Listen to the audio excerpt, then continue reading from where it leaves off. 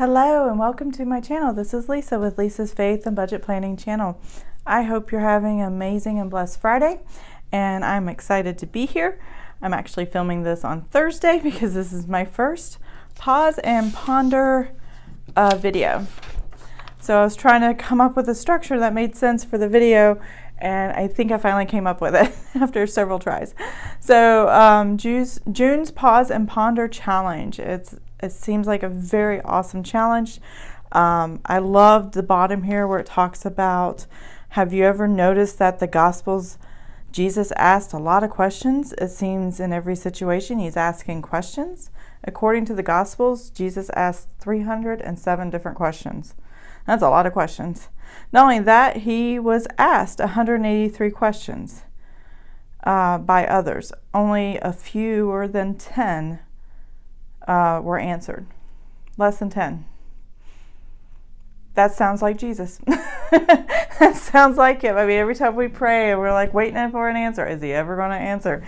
Yeah. Um, he answers, but he answers with a question to make us think and probe deeper into spiritual relationship with him, um, not just the physical world here, just you know a deeper understanding of what he's asking and what he's saying and stuff like that. So um, these scriptures were meant for further reflection. Um, the one I chose to do for this Friday is the John 3:12, which was Mondays.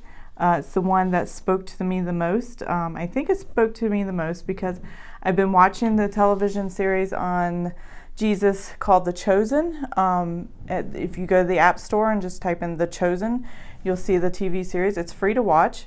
Just download the app and you can start watching them. Um, they do, um, they are solely financed through donations and um, things like that. So um, this is not Hollywood. This is not a screenwriter or a script writer or anything like that doing this. This is, you know, faith-based people wanting to do as much of a accurate portrayal of Jesus in that time period and um, do a TV series. They want to do six to eight seasons, I think. And they're almost done funding, I think, season two. Uh, um, season one's done, and it's eight episodes. They're short seasons, so which is really awesome. And Nicodemus is a character in that season, and that's what part of John 3:12 is about is Jesus and Nicodemus having a conversation. And I found this fascinating. When I read just the scripture, I was like, okay, what do I talk about? I don't know enough. What do I need to know? And so I decided to read more, and I read the chapter. And it's a conversation between Jesus and Nicodemus. So I will get into that in just a minute. And um, these are the pens I used today my Frixion erasable 07 gel pens. I love these. Those are my favorite pens. And then I used my Faith Warrior sticker book to lay some stickers down. And here's my prayerful planner. I love this thing. It's so beautiful. So happy to see it every time I get to it. And here we go. So June 5th, Friday. I did do my priorities for the day. It's my dad's birthday. Yay! Happy birthday, Dad. Um, my boys have doctor appointment calls, and we're having pizza for dinner. It's pizza night, Friday night, every night, every Friday. And then I laid these down love yourself, love others, grow in His grace every day. Um, here's my journaling prompt, and then I just kind of used some washi strip because I wrote in this whole section here. Instead of writing out my um, my plans for the day, because um, as if you've seen any of my other videos, I don't really have a lot of plans. Um, I just put my pri top priorities. I can always do my plans through my top priorities through the day, and I know what to do. So, um, especially with schools out, yay! I'm so happy. Um, distance learning was not as fun as I thought it would be, uh, and my my son didn't enjoy it either. But we did it, and we worked on it, and it was awesome. He just missed being around people he knew and the routine of school and stuff. So I put my pause and ponder over here. I read my scripture and I, I looked, I always do this. I take the scripture of the day on June 5th and I look at it in more than one version. And I read a version that spoke out to me um, and I think it had a lot to do with what's going on in the world today. And Jesus was just laying it heavy on my heart And so I hope as I read this scripture here and here that um, I do it justice. I do it honor and glory to God and um, and love and respect. So here we go. do not let the sun go down while you are still angry. Ephesians 4:26. So the version I love the most, and if you watched any of my past videos, you'll know this, is the amplified version because it just adds so much more content and reminds me of salvation. It reminds me of sin. It reminds me of the context of the verses that I'm supposed to be thinking about that I may my brain may not automatically go to because I didn't grow up in a church, because it wasn't drilled into me my entire life, because I need to be reminded. I need to be reminded. So, this is what God spoke to me and laid heavy on my heart today once I read this version, and I felt it was important to put it down here. Ephesians 4:26 in the amplified version says, "Be angry at sin, at immorality, at injustice, at ungodly behavior, yet do not sin. Do not let your anger cause you shame, nor allow it to last until the sun goes down. That really hit, sucker punched me in the gut. That hit me hard. I had never heard it in that terms. I never heard it in that context. When I've read it in this context, do not let the sun go down while you are still angry, or a version of this. Um, and I could probably find the other versions too. I never, it was always in the context of marriage. Ephesians is famous for um, helping marriages on how we're supposed to treat one another. Let me open my Bible app up again. John, uh, let's see, Ephesians 4. There we go. I probably still have it highlighted. Yeah. Oh, I don't want the message. I want like the ESV version. Let's put it that way. It says, Be angry and do not sin. Do not let the sun go down on your anger. That's the, oops, sorry. ES, uh, Ephesians ESV version. It, it doesn't give me enough context about angry. How angry? Can I get extremely angry? Just a little bit angry? You know, but when it tells me, be angry at the sin, be angry at the immorality, be angry at the injustice, at the ungodly behavior, yet don't sin, what he's saying is we are allowed to feel these emotions. We are allowed to come to him and say what we're thinking and what we're feeling, and he's a big God and he can handle it. And so I've been pouring myself out to him with what's going on in the world today. Um, and I am refer- referring to George Floyd, which that whole situation just breaks my heart. I am just devastated inside that that never should have happened. And I am angry with who did it, and I am hurting for the family, and he should not be dead. Plain and simple. I don't want to talk too much on it. Everybody's heard enough. but I do pray every day since this has begun. Whether I'm praying for the family, the Floyd family, I'm praying for their friends, I'm praying for um, the communities that are outraged because of the injustice that's happening all the time. And I forget because it's not in my face all the time. And it shouldn't be in everybody else's face all the time, too, but it is. So I'm praying in a big way with God about the injustice, whether it's locally uh, in my own communities or around the world. I'm asking God's guidance in this. Um, but yet, He still does not want me to sin in this, and He does not want the sun to go down with me in anger. And I think that's what he means. When these things happen, that we just, by the time the sun goes down and we've yelled at God all day about the injustice, he does not want us to keep carrying that burden. He wants us to turn the burden over to him because justice is his. and He is in control. And it's not my job. My job is to pray. So that is the only thing I know to do. And I pray that me saying this on social media, I hope it's received well and that those here understand. I do this with love and heart. I, I, I don't like seeing anybody hurt. I don't care who you are. I just love people. And I want everybody in heaven, but I know that's not possible. So I just pray for everybody as often as possible. I've been doing it for months now with the COVID 19. Um, we have this thing with our church that we pray at a certain time every day, and we're praying for health. And I say health for everyone in the world, whoever's sick with COVID, whoever's sick with any disease or disability or anything that needs healing. I pray to God every night for that. I pray to God for our officials around the world, whether it's in the medical community to get the uh, vaccine for the virus or the um, our leaders of our countries around the world. I pray for, um, that's regardless if I like them or not. um, I pray for um, it's hope, H O P, um, provisions and protections, especially those who've lost their jobs and are financially in difficult positions or need help advancing and having better opportunities.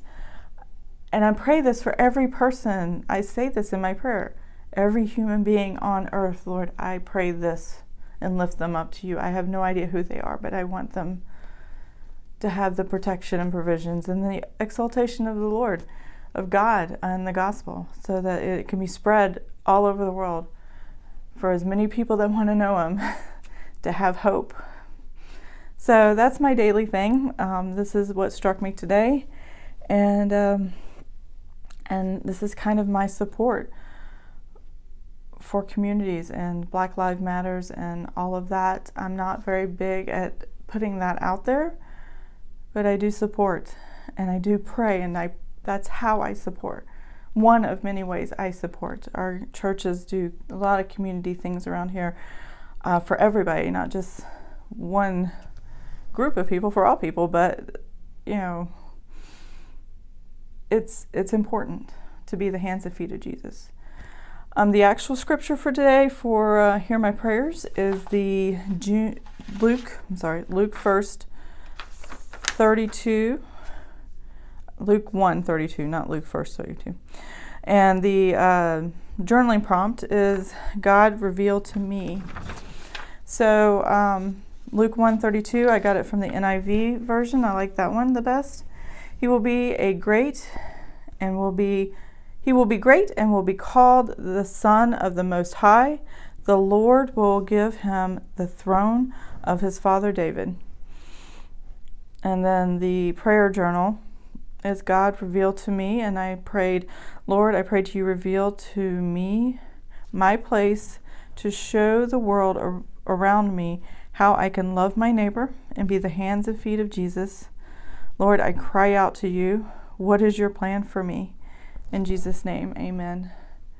Because I feel there's a movement going on. I think God is working in all of us and making these changes and having us cry out to Him more and more with one thing after another. And I do believe He's awakening us for plans that have never been seen before. And I don't know what they are, but I pray urgently that He reveals those to me. Okay, so hopefully I won't keep being emotional. so I'm going to move on. I hope this was okay. I hope this was acceptable for everybody that's listening. Um, this is just what was on my heart, and the Lord and I were discussing, and I, I just wanted to share that with you guys because I love you guys and I appreciate all of you, all the new subscribers, everyone that's been coming back to my channel. I appreciate each and every one of you. Thank you so much. Uh, you're amazing, amazing uh, women that have been talking with me and sharing with me, and I truly enjoy it. Thank you. So I'm going to move on to the pause and ponder. So what I've done here is just taken the whole section where I would normally write out my um, what you call it, my plans for the day. And like I said, I'm not a very busy woman, so I don't have a lot of plans. But um, John, that's the book. I'm going to pull up John 3:12. What I loved about this and what happened when I was working on this is um, I spoke about Nicodemus earlier. This is a the verse is right here. That's the amplified version. I think I have the ESV. So the ESV says, If I told you earthly things and you do not believe, how can you believe if I tell you heavenly things? So what pause and ponder did for me, I paused and went, okay, what is who is he talking to? What is he talking about? I need more clarification. I don't understand. And obviously, I go to the Amplified all the time. It's my favorite. Um, so, what I did was, is I went back and looked at several verses, and I kind of stopped right there at 12. So, 1 through 12 was kind of what I read, and this is where a Pharisee named Nicodemus, who um, came to Jesus in the night. And I looked up online um, why at night, and there was a couple theories that it was like under the cover of darkness and kind of spooky, and he was hiding from the other Pharisees and the Sanhedrin. And um, but others were thinking, no, I think it was just the only time the two of the men weren't busy. you know, uh, Jesus had his missions during the day, and you know, this Pharisee was a very important Pharisee. He was a um, let me see my notes. High Judicial Council. He was part of the High Judicial Council that had anywhere from 23 to 71 men that were in charge of that. And um, he came, so Nicodemus came to Jesus in the calm of the evening, I believe, and had a conversation with him. He goes, he says in Scripture, who who came to Jesus at night and said to him, Rabbi, teacher, we know without any doubt that you have come from God as a teacher, for no one can do these signs, these wonders, these uh, attesting miracles that you do unless God is with him.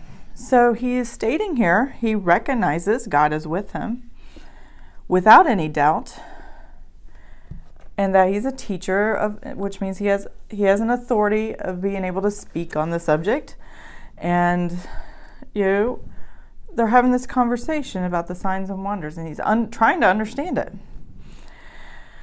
and these are things that Nicodemus himself has seen and heard. Okay. As the conversation goes on Jesus starts talking and explain to him that, that people have to be born again of the Spirit. Now, we understand this because this is part of becoming a Christian, and this is, you know, um, turning our faith to the Lord, and it's more common knowledge to us today. So I had to put my mind and, you know, my hands and feet of a Pharisee for a minute there to think how he thinks. So this Pharisee's hearing, I have to be born again. What? How can I go through my mother's womb? That's of the natural world. And Jesus trying to explain to him, hey, you know the scripture. You should understand this. You've read the prophets. You've uh, read what the scripture said about you know the Messiah coming. Essentially, is what he was saying. Um, you understand these things from scripture. Why don't you understand? Obviously, as a Pharisee, he's going to know the scripture better than anybody. But I believe this Pharisee and probably many of the others focused so much on the law of Moses and what they could physically do on earth that they weren't used to relying spiritually connecting with God. And this what God said spiritually to in the scriptures for them to connect. They were still in the mindset of a legalistic view. A legalistic, uh, I got to do this. I got to make these sacrifices and atone for this because this is how God said to do it. But they, generation after generation, they would forget there's a spirit of the law that goes behind it. And that that's kind of going over his head. So by the time you get to this verse, Jesus says, If I told you earthly things, And I love the amplified version here. If I told you earthly things, that is things that happen right here on earth, and you do not believe, how will you believe and trust me if I tell you heavenly things? So I love this addition of that is things that happen right here on earth. If I told you these earthly things, how would you believe the things you can't see, the spiritual realm that are heavenly things? Why would he believe them? I, I, I can see why Jesus would be frustrated right here. And that's what I see. Jesus is frustrated with Nicodemus. Nicodemus is focused on the law of Scripture and can't see past the end of his nose, basically, based on what he studied, because he's only really focused hard on keeping that law because he is a man of judicial high council. So that's his focus of study. And he the spirit of the law is what's being overlooked here. In my opinion. he can't see Jesus the man spoken of in scripture that Nicodemus already knows so well. He cannot see that Jesus is right in front of him. The Messiah is right in front of him. It it doesn't make sense. It's not clicking yet. And that's what I pondered on um, wh- what he was saying here. If I told you earthly things, that is things that happen right here on earth, and you do not believe. So he wasn't, he's saying he's seeing these miracles. He's saying he sees and hears these things of um, wonders and attesting miracles and signs, uh, but he's having a hard time believing them. So why would Jesus tell him of the heavenly things? He wouldn't, because he's not going to believe that either, even if he tells him. So that's it's kind of sad that he's sitting there right with Jesus, and we would love to have that experience, you know, but he's sitting right in front of Jesus, and he cannot see as Jesus. That's just that overwhelms me a little bit just to think about. But I think for everyday life, for now, in today's time, as Christians, I think this kind of applies when we meet someone or know someone who isn't of faith or doesn't want to believe or fights it all the time. Um, and then they doubt everything that's said around them that's a miracle even though it's right in front of their face and you know it's got to be a god thing it's just got to be um, how things work out or coincidences or whatever that you see in your life but you know they're not everybody else will see them as coincidences but you'll see them as god's miracles um, yeah if they can't see him for the miracle that god provided how are they going to see and understand the heavenly things if we explain that, that to them as a non believer to be a believer. I mean, I can see the struggle and I can see the frustration. And it's nice to know that Jesus went through that same exact thing talking with someone right in front of him. he, he had the same thing, had the same experience sharing his ministry. So that's what I got out of my pause and ponder. I really enjoyed this. I really enjoyed reading about Nicodemus. It's really got me pumped to go ahead and watch the um, the last two episodes of The Chosen because that's the story part where Nicodemus and Jesus are sitting down. So I'm curious to see how they played it, played that out as actors. And one of my favorite actors is in that. I don't think I can remember his name. His name is Erick something. Um, let me see if I can find him real quick on the internet. He's played in The Mummy, um, Chosen. I, you gotta love IMDb when you're talking about movies and stuff. Um, see if I can find. So this is what The Chosen looks like. That's the guy who plays Jesus. That's Simon, I believe.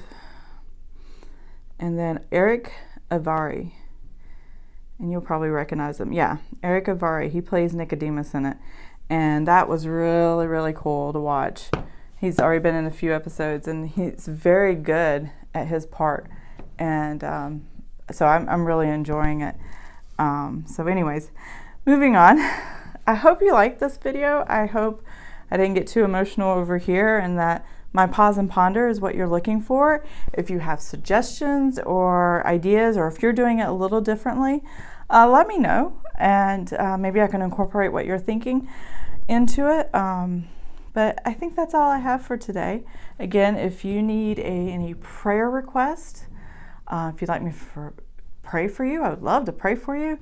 I leave my email in the uh, description box below. And um, I hope everyone who's watching ha will have an amazing and blessed day. Until I see, uh, talk to you again next time. Bye.